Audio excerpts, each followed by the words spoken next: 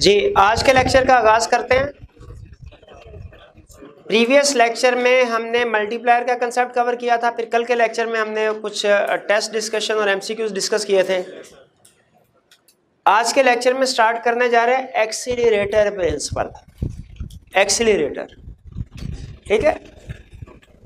देखिए, आपको पता है इकोनॉमिक्स में हमारा कंसेप्ट सिंपल ही होते हैं, लेकिन उनको प्रेजेंट थोड़ा हम ज़रा हाईटेक तरीके से करते हैं। जैसे लॉ ऑफ़ डिमांड है, आसान सा। जिसने इकोनॉमिक्स पढ़ी है, उसको भी पता है, जिसने इकोनॉमिक्स नहीं पढ़ी, उसको भी पता है। लेकिन हम प्रेजेंट करते हैं तो उसे फॉर्मल वे में प्रेजेंट करते हैं। उसी तरह मल्टीप्लायर का कंसेप्ट भी बहुत आसान, लेकिन आपको पता है कि हमने उसे फिर डायग्राम के ज़रिए से प्रेजेंट किया, सीखा। एक्सीटर का कंसेप्ट भी बहुत ही आसान है। लेकिन हम ज़ाहिर है उसको इकोनॉमिक्स में थोड़ा मुश्किल बना के प्रेजेंट करेंगे। ताकि पता चले ना इकोनॉमिक्स आसान सब्जेक्ट नहीं मुश्किल है। पहले उससे हम कंसेप्चुअली समझते हैं। कंसेप्ट समझ आ गया तो लॉ भी इंशाल्लाह आसानी से समझ आ जाएगा, ये सारी वर्किंग इसकी। कंसेप्ट क्या है? दो स्टेटमेंट आपके सामने मैं रखने जा रहा हूँ। आपने मुझे बताना है दोनों में से कौन सी स्टेटमेंट ट्रू है? या मे भी दोनों फॉल्स हो, या मे भी दोनों ट्रू हो। ये आपने एनालिसिस करना। पहली स्टेटमेंट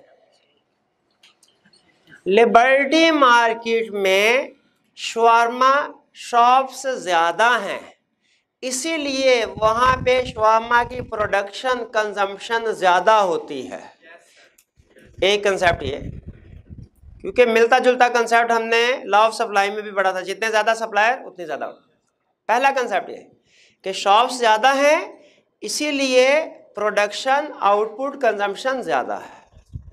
दूसरी स्टेटमेंट लिबर्टी में कंजम्पशन डिमांड ज़्यादा है शवारमा की, या ज़्यादा डिमांड होने से, ज़्यादा डिमांड शवारमा की ज़्यादा डिमांड होने से न्यू शॉप्स वहाँ पे ओपन होंगी।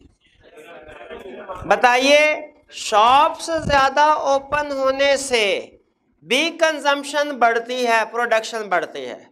और कंजम्पशन या प्रोडक्शन के ज़्यादा होने से शॉप्स नहीं खुलती हैं। दोनों में से कौन सी स्टेटमेंट ट्रू है? दोनों स्टेटमेंट ट्रू हैं। नम देखें नंबर ऑफ़ फॉर्म ज़्यादा होने से भी आउटपुट सप्लाई बढ़ती है। ये भी कंसेप्ट ट्रू है। और मार्केट में डिमांड ज़्यादा होने से भी नंबर ऑफ़ सप्लायर्स ऐड होते हैं। न्यू इन्वेस्टमेंट मार्केट में आती है। यह भी कंसेप्ट हुआ है। लेकिन दोनों में फ़र्क है। आपको याद है, हम जीडीपी की कैलकुलेशन करते हैं, कैसे करते हैं? C plus I plus G plus X minus M और ये आता है हमारा जीडीपी जीडीपी ठीक है? अब मुझे बताइएगा, सोच के। इन्वेस्टमेंट बढ़ने से जीडीपी बढ़ती है। जितनी इन्वेस्टमेंट बढ़ेगी, उतनी जीडीपी बढ़ेगी। कैलकुलेशन में ऐसे होता है ना? ये कौन सा कंसेप्ट है? मल्टीप्लायर के एक्सीलरेटर कोई भी नहीं। ये तो मैथ का कंसेप्ट है।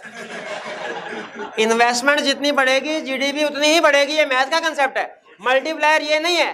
मल्टीप्लायर क्या कहता है? इन्वेस्टमेंट बढ़ने से जीडीपी आउटपुट ज़्यादा बढ़ेगी। ये है मल्टीप्लायर अब एक्सीलरेटर क्या है? इन्वेस्टमेंट बढ़ने से जीडीपी आउटपुट ज़्यादा बढ़ेगी। ये है मल्टीप्लायर एक्सीलरेटर क्या है? आउटपुट ज़्यादा होने से इन्वेस्टमेंट बढ़ेगी। ये है एक्सीलरेटर एक्सीलरेटर ये है मल्टीप्लायर दोनों में फ़र्क है। फ़र्क समझ आया आपको? ठीक है? अब मुझे ये बताइए, अगर लिबर्टी में ज़्यादा कंज्यूमर वहाँ जाते हैं कंजम्पशन ज़्यादा है वहाँ पे ज़्यादा हो रही है तो वहाँ पे नई शॉप्स ओपन होंगी कि नहीं होंगी? तो कंजम्पशन आउटपुट ज़्यादा है तो उससे इन्वेस्टमेंट बढ़ेगी। ये कौन सा कंसेप्ट है? एक्सीलरेटर मल्टीप्लायर में हम कंसेप्ट पढ़ते हैं इन्वेस्टमेंट के बढ़ने से आउटपुट ज़्यादा बढ़ रही है। यहाँ पे क्या पढ़ रहे हैं एक्सीटर में?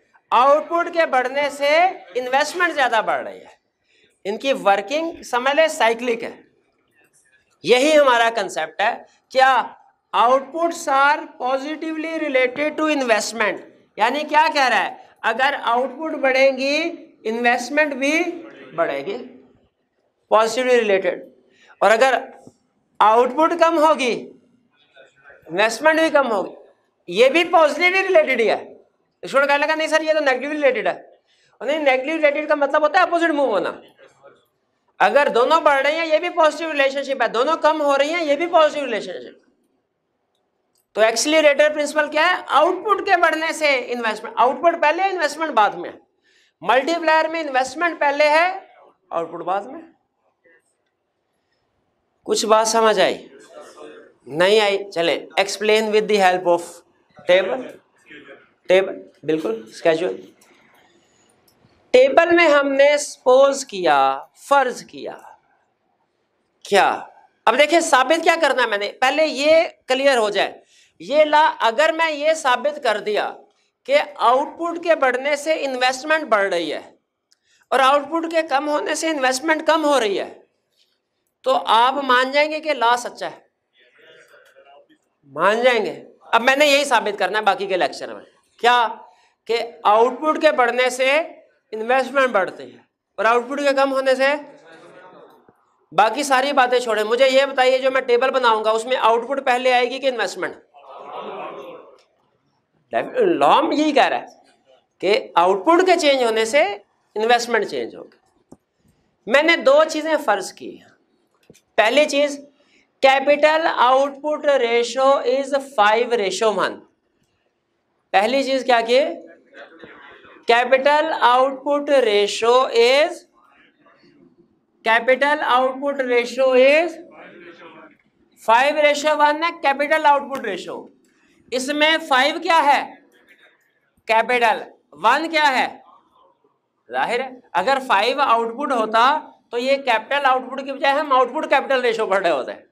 कैपिटल आउटपुट रेशो का मतलब पहले क्या आया? फिर क्या आया? Capital output ratio five ratio one का मतलब क्या है? कि आपको एक आउटपुट इंक्रीज करने के लिए फाइव रुपीज़ कैपिटल चाहिए।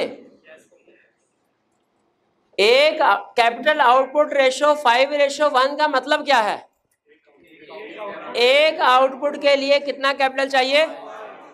Capital output ratio one, ratio seven का मतलब क्या है? सात आउटपुट बढ़ाने के लिए एक कैपिटल। और capital output ratio seven, ratio one का मतलब क्या है? एक आउटपुट बढ़ाने के लिए सात कैपिटल चाहिए। आपको इसमें सोचने की ज़रूरत नहीं है। बस क्वेश्चन में जो आ गया, आपने उसी को यूज़ करना। है हमने ये नहीं सोचना कि एक capital output ratio five ratio one है, एक आउटपुट के लिए फाइव कैपिटल चाहिए। एक आउटपुट के लिए फाइव कैपिटल हमने ये नहीं सोचना कि ऐसा कौन सा बिज़नेस है जिसमें एक आउटपुट के लिए फाइव कैपिटल होगा कोई ना कोई। हमें क्या इससे? ठीक है कैपिटल आउटपुट रेशियो क्या है? कैपिटल आउटपुट रेशियो समझ आ गई? मतलब क्या है? एक आउटपुट के लिए कैपिटल आउटपुट एक आउटपुट के लिए पाँच कैपिटल चाहिए। यहाँ तक clear depreciation rate is ten percent of last year's capital इसमें टेन परसेंट तो मुझे समझ आ गया अकाउंटिंग में बेतहाशा पड़ा है। कैपिटल नहीं समझ आया लास्ट भी समझ नहीं आया लास्ट भाई काउंटिंग में तो पढ़ा था कैपिटल पे इंटरेस्ट होता है। अकाउंटिंग में क्या पढ़ा था कैपिटल पे इंटरेस्ट होता है। इकोनॉमिक्स वाले कह रहे हैं कैपिटल पे डेप्रिसिएशन होती है। ये क्या चक्कर है? भाई कंसेप्ट फ़र्क है। उधर अकाउंटिंग में पैसों को कैपिटल कहते हैं। यहाँ पे मशीनरी को कैपिटल कहते हैं। पैसों को क्या कहते हैं? मानी एग्जैक्टली तो capital depreciation ten percent on capital बिल्कुल सही लफज है। गलत नहीं है। दूसरा लास्ट ईयर पिछले साल। ठीक है? अकाउंटिंग ये एज्यूम करती है कि इस साल के एसेट पे, इस साल की डेप्रिसिएशन इकोनॉमिक्स इकोनॉमिस्ट कहते हैं नहीं। हमारा जो पिछले साल का क्लोजिंग कैपिटल होता है ना, वो इस साल चलता है। वो इस साल चलता है। इस साल जो हमने नया लेके आते हैं कैपिटल वो क्लोजिंग पे लेके आते हैं। जमशन का फ़र्क है ना। इकोनॉमिस्ट ये एज्यूम करते हैं कि हमने सारे जितने भी एसेट खरीदे, बेचे, वो ये एंड पे किए। बहरहाल, उसने क्वेश्चन में जब कह दिया ten percent of last year capital तो हमने पिछले साल के कैपिटल पे ये रेट लगाना है। लेकिन इकोनॉमिक्स में जहन में रखिएगा जो कैपिटल पे डेप्रिसिएशन रेट होता है, वो पिछले साल के कैपिटल पे होता है। ये दो जम्पन समझ आई कि नहीं? क्योंकि इन्हीं के, इन्हीं की बेस पे मैंने सारा क्वेश्चन आगे सॉल्व करना है। इनमें कोई मसला है तो पूछ ले। Capital output ratio depreciation rate depreciation rate जो उसने कहा हुआ है वो ही हमने यूज़ करना है। और जिस तरीके से कहा हुआ है, वैसे ही यूज़ करना है। टेन परसेंट कहा है तो टेन परसेंट करेंगे। उसने कहा लास्ट ईयर कैपिटल तो लास्ट ईयर कैपिटल पे कहेंगे। हमने इतराज नहीं करना। नहीं, रट्टा नहीं है तो सही ये ये तो हमने रिक्वायरमेंट को फॉलो किया भैया। तो रट्टा का हो गया तो रिक्वायरमेंट क्वेश्चन की रिक्वायरमेंट में है कि debit rate ten percent last year capital तो मैं थोड़ी ये कहूँगा, भैया, तुम्हें क्या पता? ये अकाउंटिंग में तो हम इस साल के कैपिटल में करते हैं। चलो भाई, इस साल में लगाओ।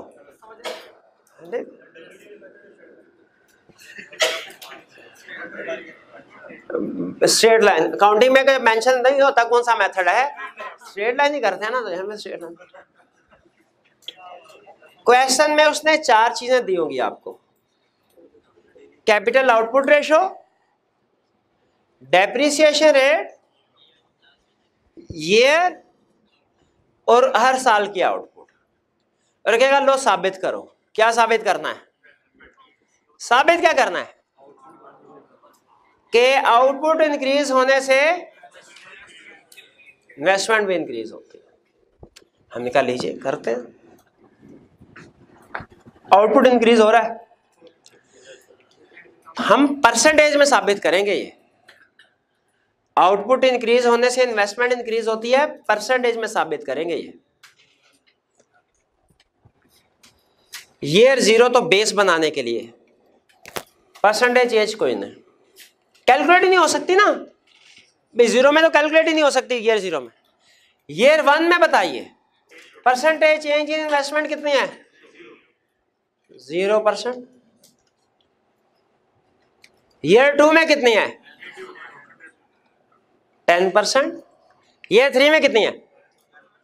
टेन यही, इसी को पकड़ना चाह रहा हूँ। ओ भैया, इधर इधर इधर आके बैठ। अरे भाई कैलकुलेटर लेके आ गया। ये आपने कैसे टेन परसेंट कैसे कैलकुलेट हुआ भला? Change ten divided by base क्या है? हंड्रेड जब सौ से एक सौ दस पे आया तो कितने percent ten divided by hundred ten percent आया। जब 110 से बढ़ के 120 आउटपुट हुई, कितने परसेंट चेंज आया? चेंज 10 डिवाइडेड बाय बेस क्या है?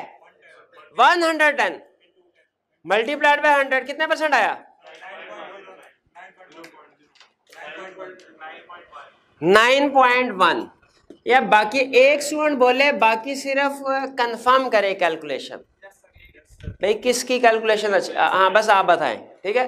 बाकी स्टूडेंट्स जो है, वो कैलकुलेशन करके देखें। सही नाइन पॉइंट वन ही है। थोड़ा बहुत राउंड राउंड ऑफ़ करते रहेंगे हम।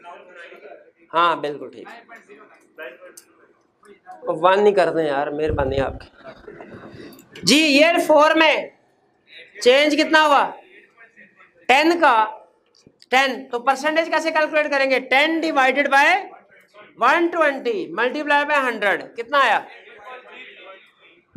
भैया उसको ज़िम्मेदारी लगाई हुई है ना, उसको अदा करने दें।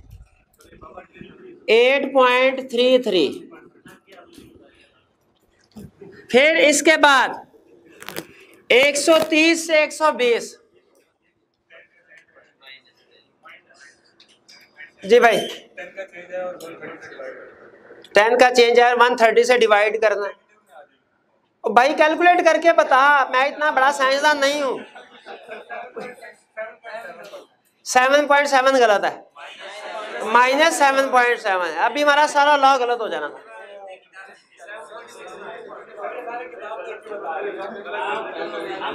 माइनस सेवन पॉइंट कैसे आया? वन थर्टी से चेंज होगी one twenty, minus ten divided by one thirty multiply by hundred इस कॉलम में कोई प्रॉब्लम है तो पूछ लीजिए। कोई प्रॉब्लम नहीं है। आगे चलें।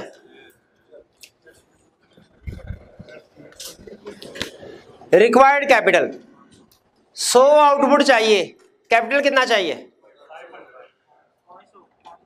कैसे पता चला 500 कैपिटल आउटपुट रेशियो से। Capital output ratio five ratio one का मतलब क्या है? एक आउटपुट के लिए पाँच कैपिटल चाहिए। एक आउटपुट के लिए पाँच कैपिटल चाहिए। सौ आउटपुट के लिए कितना कैपिटल चाहिए? पाँच सौ। सौ आउटपुट के लिए कितना कैपिटल चाहिए? एक सौ दस के लिए कितना चाहिए? 120 के लिए कितना चाहिए? 130 के लिए कितना चाहिए? 120 के लिए कितना चाहिए?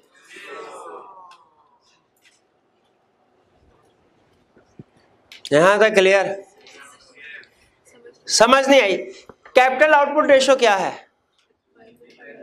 कैपिटल आउटपुट रेशो का मतलब क्या? नहीं, अब ऐसे नहीं, अब पूरा समझाए। कैपिटल आउटपुट रेशो का मतलब क्या? कि एक आउटपुट के लिए फाइव कैपिटल चाहिए। Capital output ratio five ratio one में ये कैपिटल है, ये आउटपुट है। कैपिटल एक आउटपुट के लिए फाइव कैपिटल चाहिए। एक आउटपुट के लिए फाइव चाहिए, हंड्रेड आउटपुट के लिए कितना चाहिए? Five hundred. वन ट्वेंटी के लिए कितना चाहिए? वन थर्टी के लिए कितना चाहिए? क्लियर? रिक्वायर्ड कैपिटल आ गया। अब बताइए कि हमें ये तो है पहले वाला तो ज़ीरो है। ईयर वन में न्यू इन्वेस्टमेंट चाहिए कोई? नहीं चाहिए। ईयर टू में कितनी चाहिए new investment fifty year three में कितनी चाहिए नई इन्वेस्टमेंट फिफ्टी ईयर फोर में कितनी चाहिए? फिफ्टी ईयर फाइव में कितनी चाहिए? माइनस फिफ्टी ये देखिए, इसमें कोई प्रॉब्लम है तो पूछिए। जे? रिक्वायर्ड कैपिटल दोबारा बता दूँ? रिक्वायर्ड कैपिटल निकला कैपिटल आउटपुट रेशो से। रिक्वायर्ड कैपिटल कहाँ से निकला? कैपिटल आउटपुट रेशो से। Capital output ratio five ratio one का मतलब क्या है? एक प्रोडक्ट बनाने के लिए पाँच कैपिटल चाहिए। तो सौ प्रोडक्ट बनाने के लिए कितना चाहिए? एक सौ दस के लिए कितना चाहिए? पाँच हज़ार अब एक सौ दस, पाँच हज़ार अब एक सौ बीस, पाँच हज़ार अब एक सौ तीस, पाँच हज़ार अब एक सौ बीस, यही तो है। पाँच का पढ़ा है, ये फरमाइशी प्रोग्राम चल रहा है। पाँच का पढ़ा सुना दो हाँ अब देखें, पिछले साल में हमने सौ यूनिट बनाना था। कितनी इन्वेस्टमेंट चाहिए थी? अगले दिन 110 यूनिट बनाना है, अगले साल। तो क्या 500 के एसेट होने चाहिए हमारे पास? इन्वेस्टमेंट 110 यूनिट बनाने के लिए कितने की इन्वेस्टमेंट चाहिए? 550 की? अब यूनिट बढ़ाने हैं, क्या फ़ौरन बढ़ जाएँगे? उसी जो हमारे पास मशीन है, उसी से बन बन जाए। भाई, नई मशीन नहीं लानी पड़ेगी। नहीं समझा रहा हूँ। भाई आउटपुट बढ़ानी है तो नई मशीनरी भी तो लानी पड़ेगी। पैसे चाहिए आउटपुट बढ़ाने के लिए, पैसे चाहिए और क्या नहीं चाहिए? 100 आउटपुट के लिए पैसे 500 चाहिए। 110 के लिए। पिछले साल हमारे पास 500 थे, इस साल 550 करने हैं।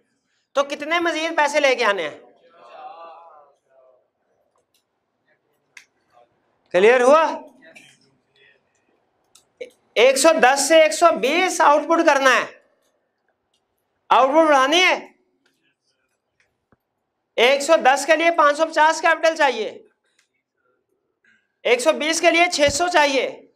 घर से 50 रुपए लाने पड़ेंगे? ये है न्यू इन्वेस्टमेंट क्लियर हुई है बात? न्यू इन्वेस्टमेंट क्लियर हुई। अब अगला कॉलम कौन सा है? इसकी डेप्रिसिएशन तो कोई नहीं। ज़ीरो पहले साल की डेप्रिसिएशन क्या है? कैसे कैलकुलेट हुआ? भैया, पचास कैसे कैलकुलेट हुआ? Five percent of last year capital last year capital कितना है? फाइव ये है हमारा टोटल कैपिटल ये है जो न्यू कैपिटल चाहिए, जो इस साल घर से लेके आना है। ये टोटल कैपिटल चाहिए।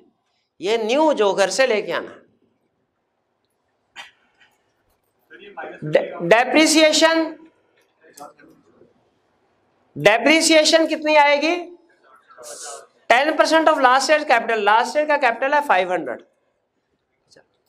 इस पचास को कैलकुलेट करते हुए टेन परसेंट को हमने किससे ज़रूर दिया वाला इससे नहीं, इससे। इस साल की depreciation ten percent of last year capital last year's capital लिखा हुआ है लास्ट ईयर्स कैपिटल इस साल की डेप्रिसिएशन कितनी होगी? बाईस साल 600 पे टेन परसेंट नहीं लगेगा। लास्ट ईयर्स कैपिटल कह दिया उसने। 55 यहाँ पे।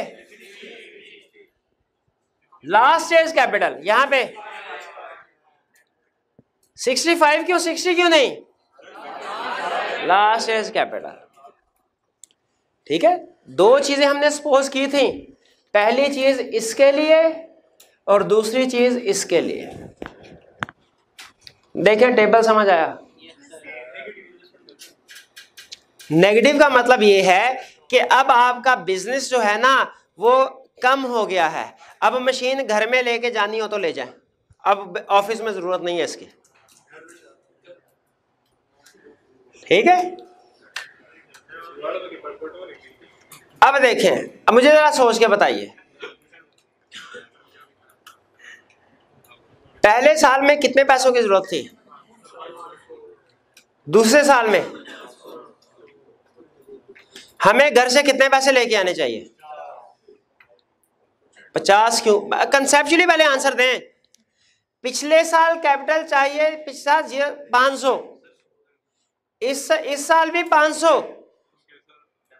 आप, मैं, मेरे ख्याल में तो घर से ज़ीरो रुपए लेके आने हैं।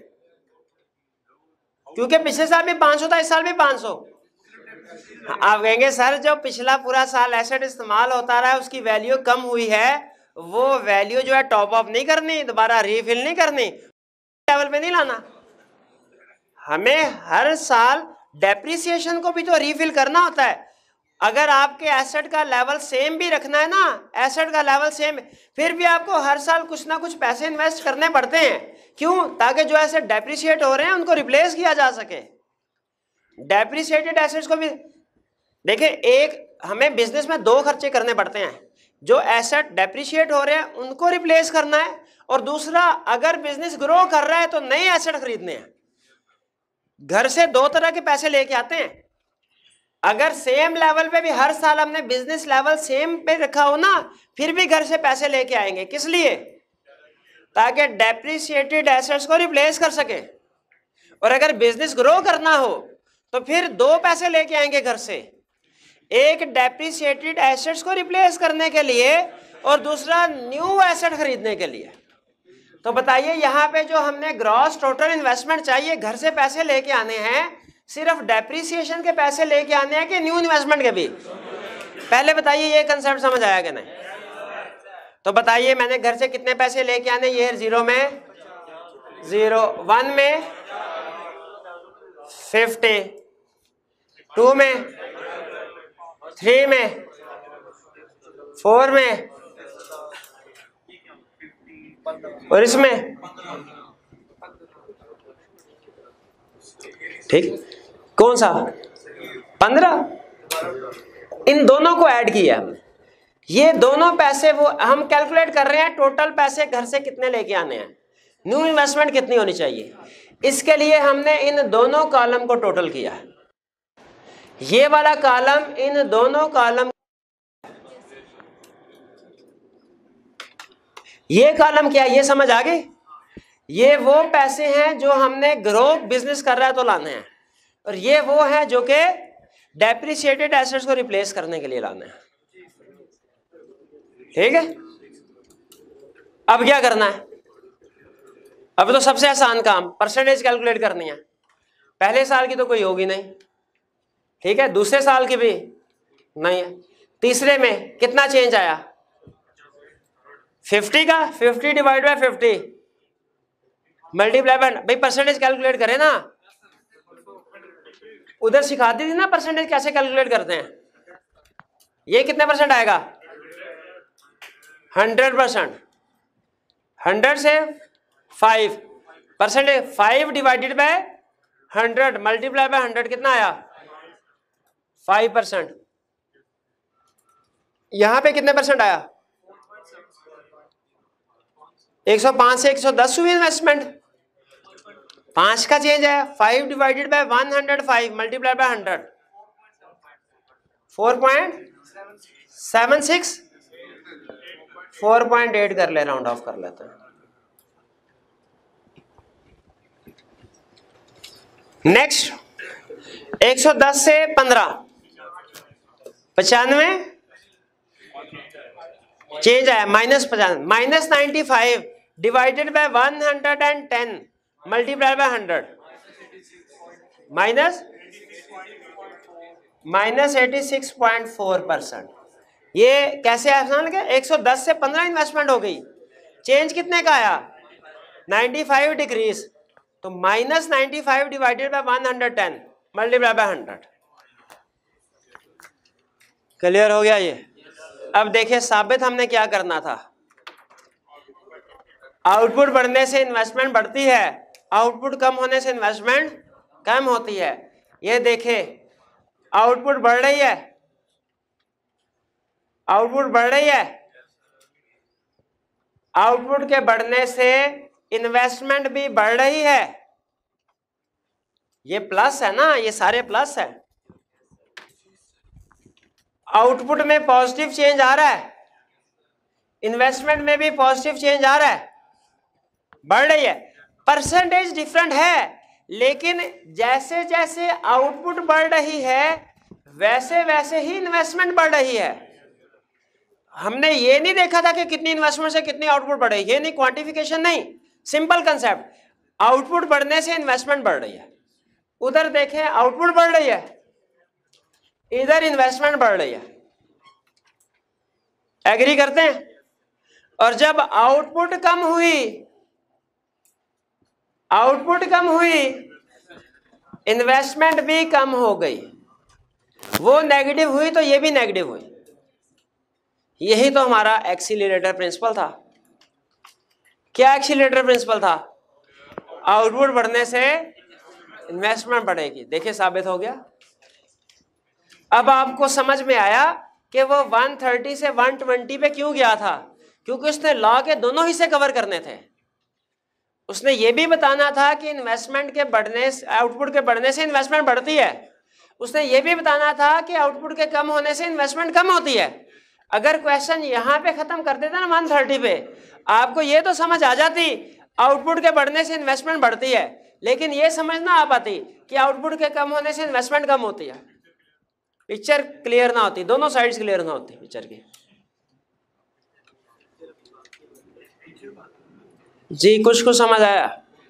कहें तो एक दफ़ा फिर समझा दूँ? नहीं। अच्छा फिर मुझे बताइए एग्ज़ाम में जब एक्सीटर प्रिंसिपल हमसे पूछेगा तो कौन सी वैसे तो हम खुद से भी टेबल याद कर जाएँगे ये वाला, के क्यों नहीं? कैपिटल आउटपुट रेशो क्या है? फाइव रेशो वन और डेप्रिसिएशन क्या है? Ten percent of last year capital year क्या है? Zero one two three four five six nine और आउटपुट क्या है? ज़ीरो पे? हंड्रेड वन पे? फिर? वन टेन फिर? वन ट्वेंटी फिर? वन थर्टी फिर वन ट्वेंटी बस, ये चार चीज़ें पता है, बाकी सारा आप खुद कैलकुलेट कर सकते हैं। परसेंटेज आउटपुट कैसे कैलकुलेट किया? सिंपल परसेंटेज से। ये आपने मैथ स्टैट में सीखी हुई है। परसेंटेज कैलकुलेट करना। रिक्वायर्ड कैपिटल कैसे कैलकुलेट किया?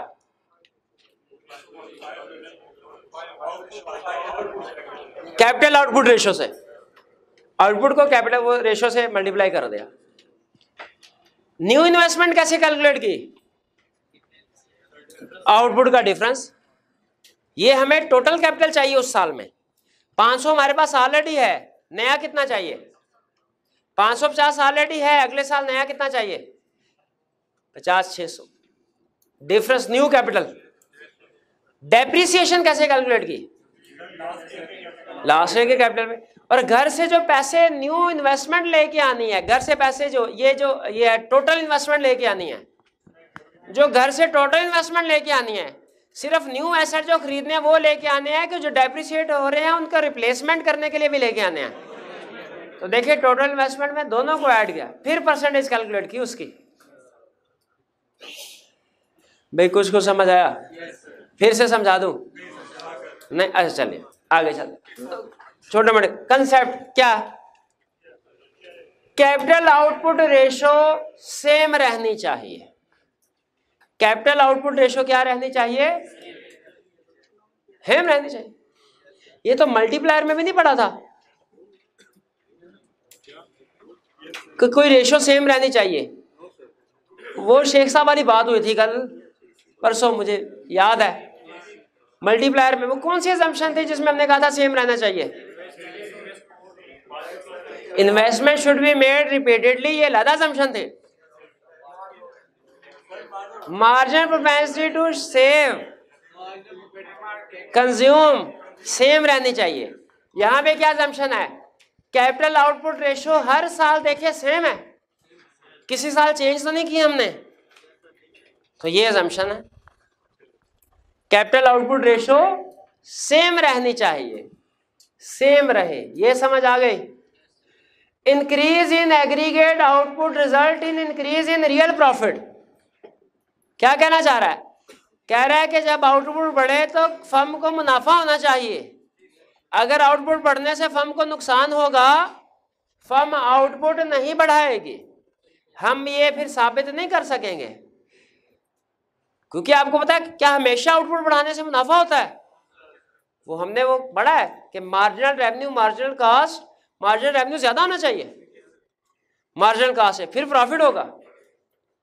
अगर मार्जिनल कॉस्ट ज़्यादा है? मार्जिनल रेवेन्यू से फिर लॉस होगा। उस सूरत में आउटपुट को हमें कम कर देना चाहिए। तो आउटपुट बढ़ने से दूसरी जम्पन क्या है? फर्म को हमेशा क्या होता है? प्रॉफिट क्योंकि अगर लॉस होगा तो फर्म आगे चलेगी नहीं। फर्म हमें कंसर्न समझाने के लिए अपना नुकसान थोड़ी करवाएगी। वो तो प्रॉफिट होगा तो फिर ही आगे चलेगी ना कहानी। Supply of money is available factor of production are available output बढ़ानी है। पैसे चाहिए कि नहीं? कहता है, ये पैसे अवेलेबल होने चाहिए। ये पैसे कहाँ से आएँगे? घर से? घर नहीं है तो बैंक से। अगर ना घर में पैसे हैं, ना बैंक में पैसे हैं तो इन्वेस्टमेंट तो इन्वेस्टमेंट नहीं आएगी ये वाली। ये वाली इन्वेस्टमेंट कहाँ से आएगी? पैसों से। कह रहा है सप्लाई ऑफ़ मनी अवेलेबल हो और इन पैसों से आप लेबर को भी खरीद सके हायर कर सके। फैक्ट्री ऑफ़ प्रोडक्शन भी अवेलेबल हो। भाई, समझ आ रही है नहीं? नई इन्वेस्टमेंट करनी है, उसके लिए पैसे चाहिए कि नहीं ये पैसे? तो सप्लाई ऑफ़ मनी अवेलेबल हो। ये ना बैंक से हम पैसे ले जाए बैंक के कोई पैसा नहीं देना। सप्लाई ऑफ़ मनी अवेलेबल हो। ये ना, पैसे ले आए मार्केट में हमें कोई वर्कर ना मिले। बात ऐसा होता है, काम का कारीगर ही नहीं मिलता। तो आपने दुकान चाहे अच्छी जगह पे खोली है, बड़ा टिप टॉप करके उसको। अच्छा वर्कर नहीं है, कोई नहीं आएगा। आउटपुट नहीं बढ़ सकेगी आपकी। तो उसने कहा सप्लाई ऑफ़ मनी पैसे भी होने चाहिए फैक्ट ऑफ़ प्रोडक्शन भी अवेलेबल होने चाहिए, ताकि आप आउटपुट बढ़ाएँ। यह है जमशन भाई, वो सुन ही नहीं रहे थे। मुझे सारा ला दोबारा पढ़ाना पड़ेगा। नहीं नहीं, वो सुन ही नहीं रहा था। लॉ में क्या पढ़ रहे हैं? एक्सीलरेटर प्रिंसिपल एक्सीटर प्रिंसिपल क्या होता है? आउटपुट के बढ़ने से आउटपुट और इन्वेस्टमेंट पॉजिटिवली रिलेटेड आउटपुट के बढ़ने से इन्वेस्टमेंट बढ़ेगी। टेबल में बनाने के लिए हमें चार चीज़ें क्या चाहिए? Capital output ratio, depreciation rate year output. Output से क्या कैलकुलेट करना है हमने सबसे पहले? Percentage change in output. फिर उसके बाद आउटपुट से ही एक और चीज़ कैलकुलेट करनी है। Required capital. फिर रिक्वायर्ड कैपिटल पे डेप्रिसिएशन निकाल लें और न्यू कैपिटल रिक्वायर्ड कैपिटल से न्यू कैपिटल चाहे डेप्रिसिएशन पहले निकाल लें बाद में फ़र्क कोई नहीं पड़ता। दोनों चीज़ें कैलकुलेट करनी है। दोनों चीज़ें कैलकुलेट करनी है ना? रिक्वायर्ड कैपिटल से हमने दो डेप्रिसिएशन भी न्यू कैपिटल में।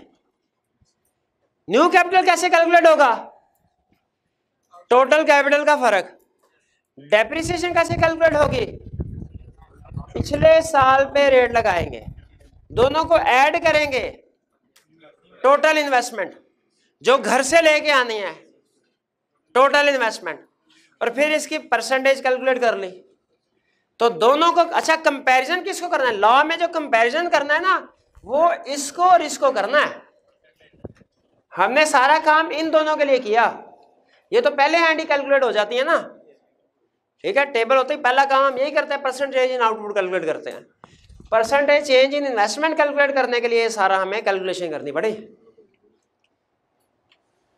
असम्पशंस क्या एक्सीलेटर प्रिंसिपल की? चार। पहली असम्पशन कौन सी है? कैपिटल आउटपुट रेशियो कांस्टेंट दूसरे आउटपुट बढ़ने से रियल प्रॉफिट होना चाहिए लॉस नहीं होना चाहिए। तीसरे सप्लाई ऑफ़ मनी भी अवेलेबल हो। चौथे, अब बस जरा ध्यान से सुनिएगा अगली बात लिमिटेशंस लिमिट एक लिमिटेशन आसान है, एक थोड़ी ज़्यादा आसान है। कौन सी पहले बताओ? ज़्यादा आसान वाली पहले? टाइम लैग टाइम लग, और भाई न्यू मशीनरी लाने में टाइम लगेगा। और कुछ एडजस्टमेंट कॉस्ट भी होती है। अगर एडजस्टमेंट कॉस्ट सुनिए काउंटिंग में अगर आप फिक्स एसेट कि आपने परचेजिंग की एंट्री की हुई है तो आपको पता होगा, जब फिक्स एसेट परचेज करते हैं, उसे इंस्टॉल भी करना पड़ता है। इंस्टॉलेशन कॉस्ट भी होती है। जिसे कैपिटलाइज करते हैं तो कहते हैं, वो किधर है? पचास रुपए का तो नया कैपिटल नया इन्वेस्टमेंट आ गई ना। इसकी इंस्टॉलेशन कॉस्ट किधर है?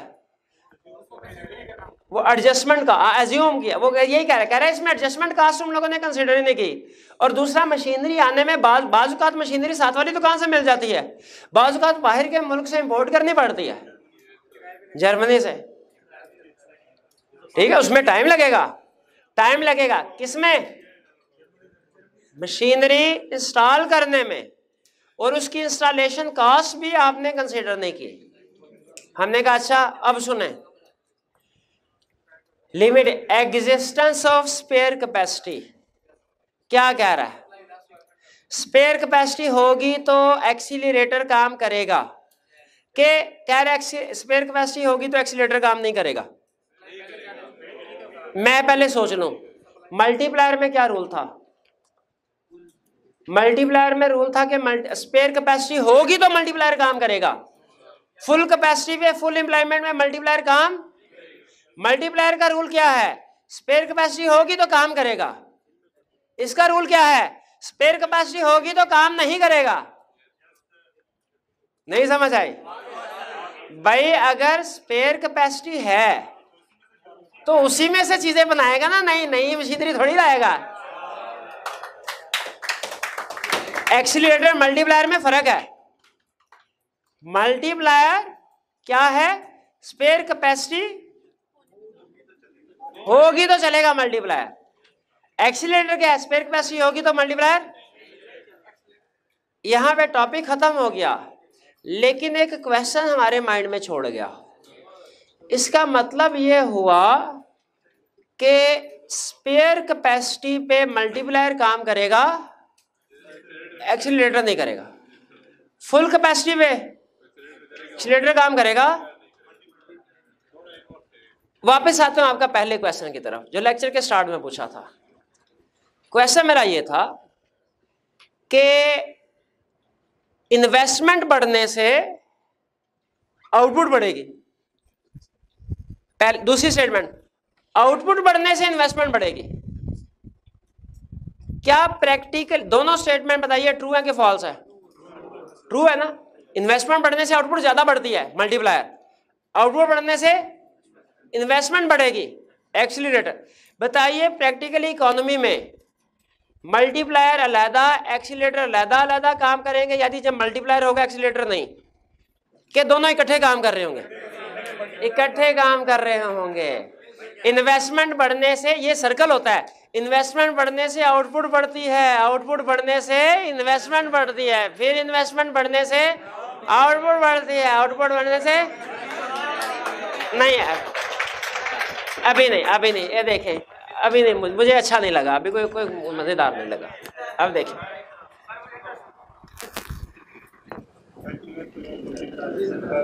एग्रीगेट सप्लाई जीडीपी या आउटपुट यहाँ पे प्राइस लेवल अब देखें इकोनॉमी यहाँ पे है इन्वेस्टमेंट बढ़ाएँगे इन्वेस्टमेंट बढ़ाने से आउटपुट बढ़ेगी आउटपुट बढ़ाने से इन्वेस्टमेंट बढ़ेगी।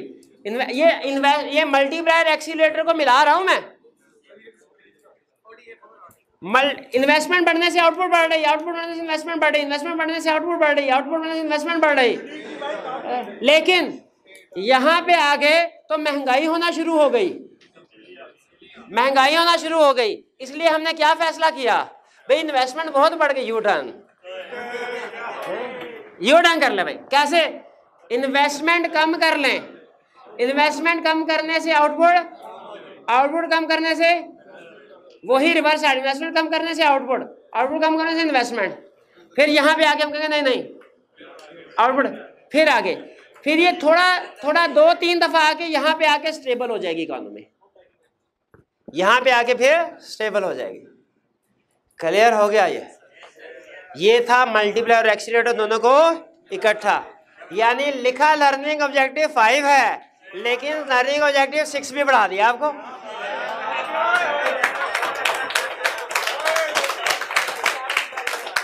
अब आपने घर जाके क्या करना है भला? खूब सोना है। हाँ जी। और उसके बाद चैप्टर कंप्लीट हो गया हमारा। चैप आ, इसके एंड पे क्वेश्चन है लर्निंग ऑब्जेक्टिव फाइव के एंड पे। क्वेश्चन नंबर है थर्टीन, तेरह। ये क्वेश्चन आपने रिटर्न फॉर्म में अटेम्प्ट करके लाना है।